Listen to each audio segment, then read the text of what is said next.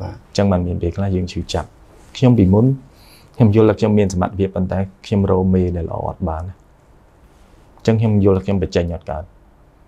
ខ្ញុំមិនដឹងបញ្ចេញកន្លែងណាគឺគេអត់ឲ្យខ្ញុំបញ្ចេញហ្មងបាទអត់មានឱកាសគេឲ្យខ្ញុំធ្វើតែប៉ុណ្្នឹងអត់មានឱកាសផងបាទកន្លែងហ្នឹងគេមិនឲ្យខ្ញុំបញ្ចេញខ្ញុំចេញរឿងមានប៉ុណ្្នឹងពួកខ្ញុំនៅតែចង់បញ្ចេញអញ្ចឹងខ្ញុំអត់បញ្ចេញនៅនេះបានខ្ញុំទៅបញ្ចេញក្រុមហ៊ុនផ្សេងអញ្ចឹងខ្ញុំចង់និយាយអ្នកឯងខាត់អ្នកខាត់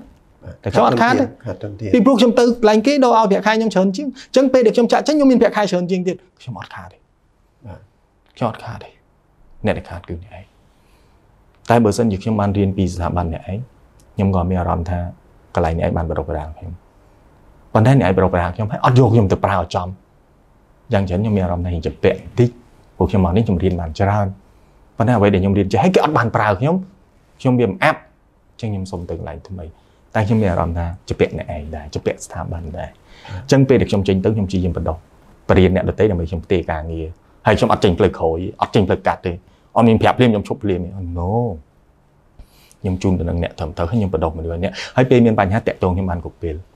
បើករណីចាំបាច់ខ្ញុំត្រឡប់ខ្ញុំសូមជាប់ខាងនោះខ្ញុំមកជួយដោះស្រាយហើយខ្ញុំត្រឡប់ទៅវិញទៀតហើយខ្ញុំអត់គិតប្រាក់កម្រៃទៀតនេះគឺជាការដឹងគុណរបស់ខ្ញុំ នេះ style របស់ខ្ញុំធ្វើគឺខ្ញុំធ្វើរបៀបអញ្ចឹងពិតជាពិសេសមែនតើនេះជាកន្លឹះមួយសម្រាប់ម្ចាស់ស្ថាប័នក៏ដូចជាបុគ្គលិកខ្លួនឯងដែរបាទបាទល្អមែនតើបង thank you